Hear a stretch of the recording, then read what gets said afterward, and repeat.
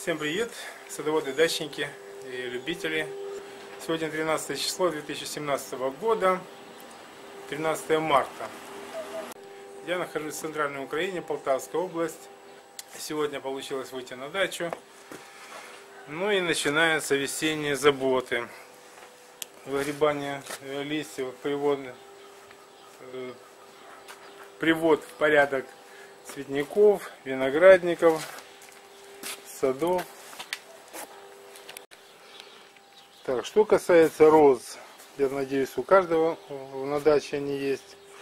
Э, розы обрезаются подмерзшие, убирается мусор, обкапываются розы. Виноград, я думаю, можно уже открывать. По крайней мере, у меня здесь затышек. Вот, все закрыто со всех сторон соседних. Здесь затышек. Здесь ветра нету большого. Я уже начинаю открывать. Вот кормокод, кадрянка. Вот кормокод. У меня здесь кадрянка. Здесь флора. Это я открываю. Здесь у меня супер экстра и кишмыш лучистый. Кишмыш лучистый до минус 18. Я пока погодю, как говорится. Э, столетие открываю. Благовест уже открыл. Вот у меня благовест уже на, на нижней проволоке.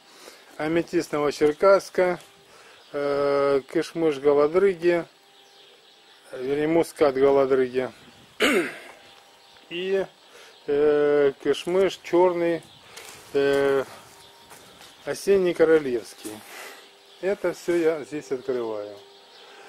Какие еще весенние заботы? Ну, естественно, приводим в порядок наши шпалеры, где подтянуть, где заменить, где укрепить, чтобы не болталось. Если кому нужно, советую, очень хорошая вещь. Вот, талрепы покупаем. Это у меня шестерка, хорошая вещь. Можно крючком зацепить где угодно. Вот, кстати, почему здесь крючком. Я вам сейчас объясню. У меня не хватало перекинуть на нижнюю проволоку обычно своего, своим методом укрывания подвесным укрытием. Вот. Была узковатая пленка. И я, конечно, здесь открутил. Крючок опустил вниз. И, естественно, приземлил нижнюю проволоку. И тогда меня хватило. В общем, очень удоб, удобство этих таврепов натяжных приспособлений. Как я уже сказал, приводим в порядок шпалеры, одноплоскостные, двухплоскостные разных видов. Смотрим, что подкопать, э, подкормить, подкормить. Не то, что можно, нужно, но пассивно. То есть не вкапывая вниз, а делая вот такие небольшие луночки, как у головы куста, вот примерно.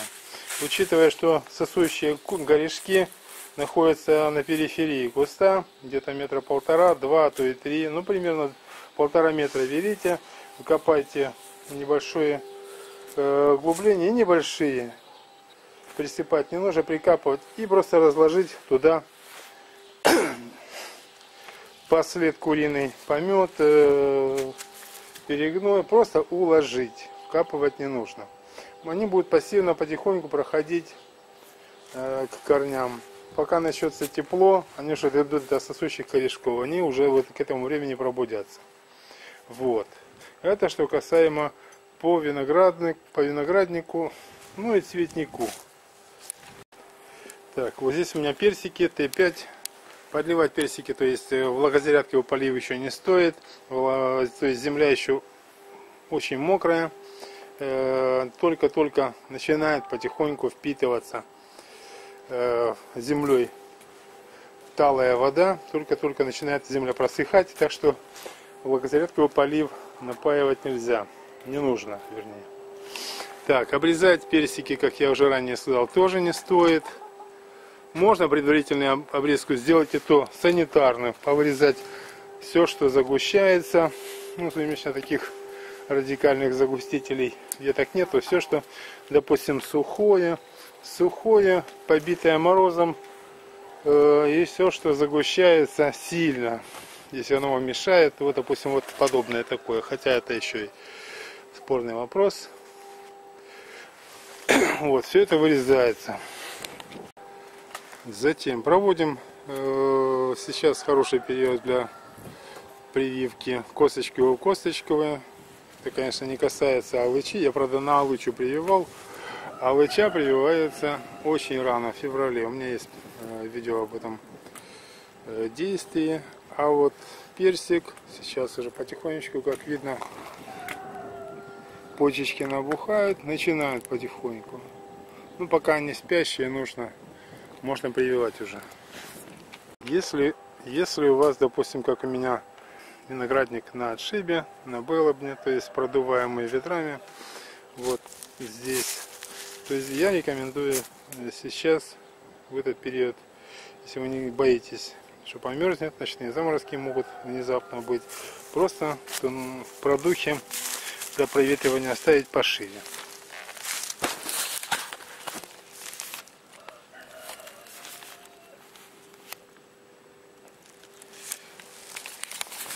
чтобы сквознячок не давал ходу процессу выбривания лоз. Также и здесь делаем. Раскрываем пошире, пускай проветривается.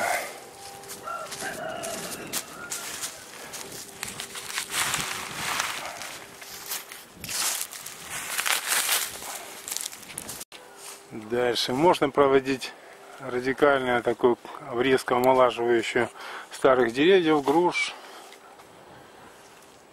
Что касаемо взрослых, но не старых, можно обрезать вершок, то есть не давать уходить веткам Э, точкам роста вверх, э, вытягивая дерево вверх, чтобы не атрофировались нижние ветки. Я уже как-то говорил об этом. Сохраняем нижние ветки. Прививаем тоже точно так же. Уже можно прививать и семечковые. Это я яблоню на яблоне привил. В данном случае это у меня Рихард в расщеп. Так, вот мы подходим, я подхожу к укрытию инжира. У многих уже, как я читаю на форумах, садоводов, инжироводов, любителей, очень сильно чешутся руки, раскрыть, посмотреть. Ну, это чревато, может быть, поскольку это экзотическая культура очень нежная. Как видно, у меня здесь продухи есть достаточно. Под волнами шифера сквознячок гуляет. Отсюда и туда. У меня северный ветер сейчас поднялся, дует хорошо. Так что, если меня смотрят инжироводы, ребят, не торопитесь. Наше время еще придет.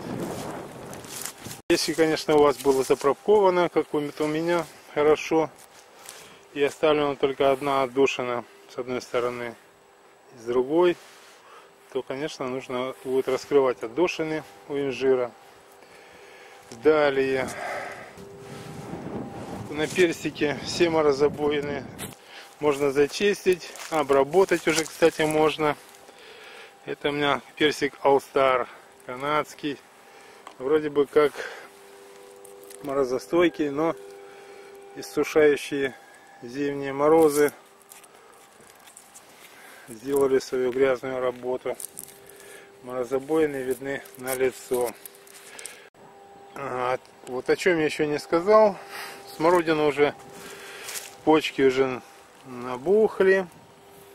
В принципе, если у вас такого прогресса, такой динамики нету по почкам, то можно пересадить. Ну, обязательно, опять же таки, как если вам, э, если у вас есть старые кусты, осматривайте, вырезайте Загущение нужно обязательно убирать. Старые ветки убирайте, молодые одногодки оставляйте. Так, вот проходил я мимо э, куста жимолость. Это у меня сорт Морена. Считается одна из самых лучших, вкусных. И как опылитель очень хороший. Вижу, динамика тут не очень такая э, показательные почки набухают, цветочных еще нету, хотя считается, что это самая-самая-самая первая ягода. Ну вот, что-то появляется из цветочных почек. А опережает ее, естественно, черная смородина. Почки здесь, конечно, уже набухают, и скоро уже пойдут листики. Ну вот и такая культура, как такая ягода очень вкусная, как малина, вернее, ежевика у вас уже есть. Видно, она уже пробуждается. Вот ее серенькие почки. Это почки, это не сухость.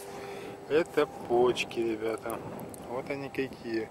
Уже нужно расправлять. Опять же, под нее поправлять шпалеру ремонтировать, подтягивать, натягивать уже и расправлять, раскрывать укрытие, где есть раскрывать, где, ну, где нужно вот такое вот колючее, как у меня, обрезать обязательно. А вообще, конечно, я бы колючие не рекомендовал бы заводить, хотя это морозостойкий куст, очень, весьма морозостойкий. Я даже не знаю его сорта. Бралась хаотично, покупалась. Это все два кустика весьма морозостойкий, но и очень колючий. Э, ежевику, естественно, нужно обрезать радикально, поскольку она э, плодоносит на, как и многие культуры, э, плодоносит на веточках на приросте, на прошлогоднем приросте. Ну и хочется закончить э, это видео очень немаловажным таким э, замечанием. Сейчас уже нужно обязательно готовить э, по своей схеме, или же искать схему, если у вас нет, или продумывать поочередность и совместимость опрыскивания. Химикаты. Нужно подбирать химикаты для опрыскивания. Железный купорос, фунгициды, э, инсектициды, гербициды, если у вас будет, есть бурьян, замучил уже. Нужно готовить сад, виноградник и огород к опрыскиванию. Ну, я вам желаю традиционно хороших урожая, поменьше болячек на ваших садах и огородах. Подписывайтесь на канал, ставьте лайки. Всем пока!